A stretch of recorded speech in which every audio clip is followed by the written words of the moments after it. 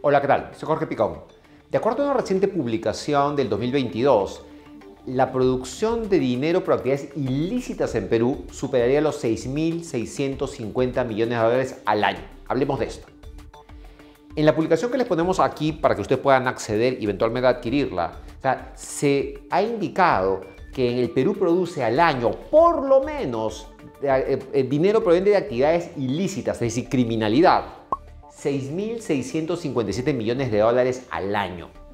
Los tres rubros más importantes son la minería ilegal de oro principalmente, 1.777 millones. Ojo que esta cifra contrasta con la que algunos especialistas plantean, en la cual es más de 2.500 millones de dólares al año. Es decir, estas cifras están bastante, son bastante conservadoras.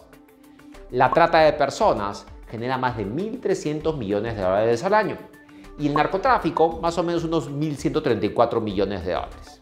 Es importante tener claro que estas cifras hay que adicionarle todo el tema de la informalidad. Es decir, estas son actividades ilícitas, es decir, que van reñidas con la ley.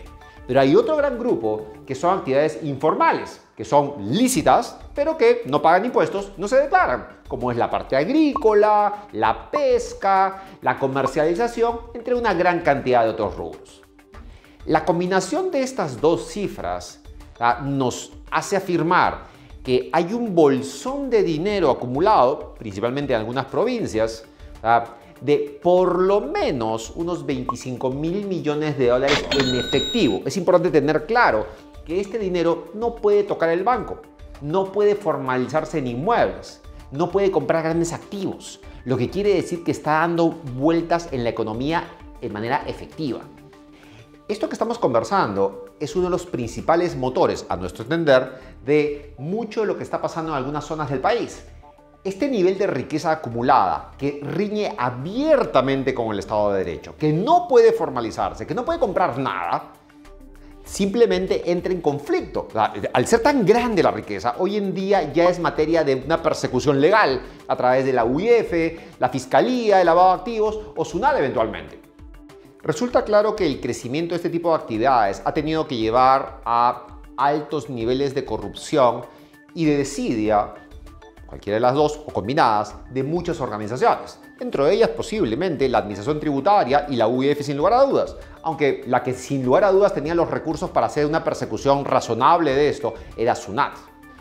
Resulta indispensable dos tipos de acciones. Por un lado, las autoridades competentes, es decir, una vez más, Fiscalía, UIF y SUNAT deben iniciar investigaciones mucho más organizadas contra un crimen organizado que hoy en día nos está tocando la puerta de una manera muy visible.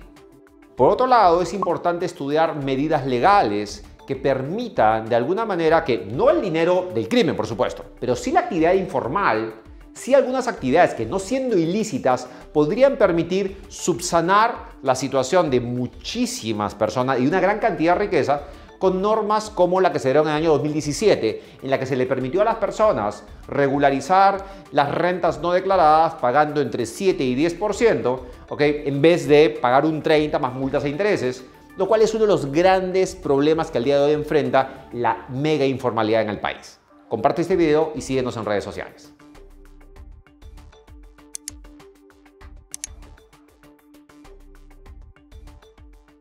En esta ocasión queremos recomendarte el resumen de este libro Quiet, tranquilo, que básicamente habla de la comparación entre las personalidades extrovertidas y las introvertidas, que básicamente es el 20% de la gente, pero en la que tiene una serie de maneras de pensar distintas y conviene interesante el libro puesto que te hace pensar efectivamente en eh, cómo educar a veces a un niño o cómo tratar a tus compañeros de trabajo. Te va a gustar.